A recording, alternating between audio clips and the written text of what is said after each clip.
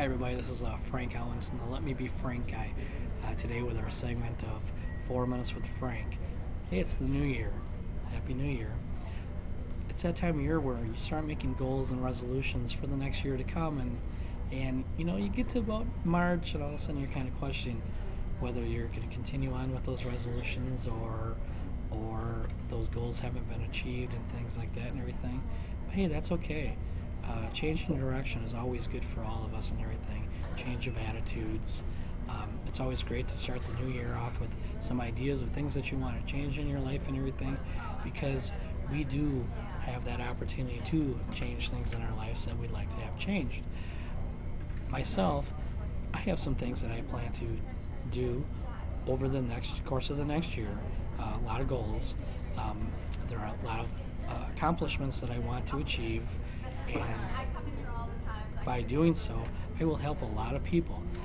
One of the goals that I have for this next year is to actually work with 100 people to help them find the, their inner strengths, achieve their goals, and to experience their dreams. What a great goal that will be, huh? Trust me, I'm going to work really hard on that. Whether I get to those 100 people, yeah, we'll see what happens.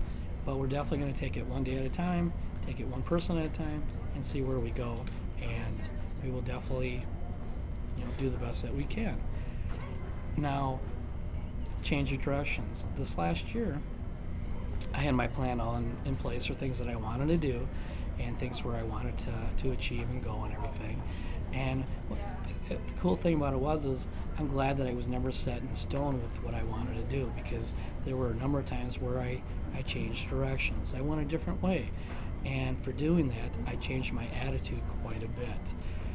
I didn't ever expect that I would ever have a book out and actually be an author.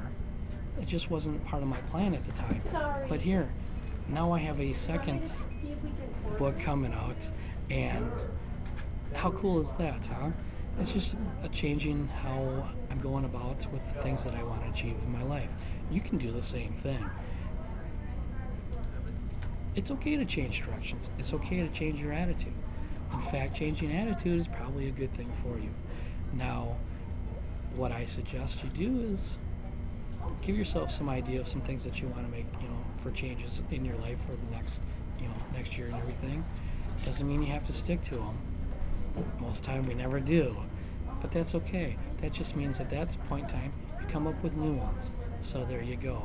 Um, I would like to take the time to tell you that you can truly make the changes in your life to have a wonderful, wonderful 2011.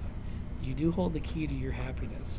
Unlock the chains that hold you back, and you'll have a great 2011. Hey, Happy New Year's, and I'll talk to you soon, okay? Be safe. Thanks.